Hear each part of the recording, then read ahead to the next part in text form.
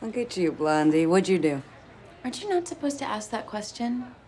I read that you're not supposed to ask that. You read that?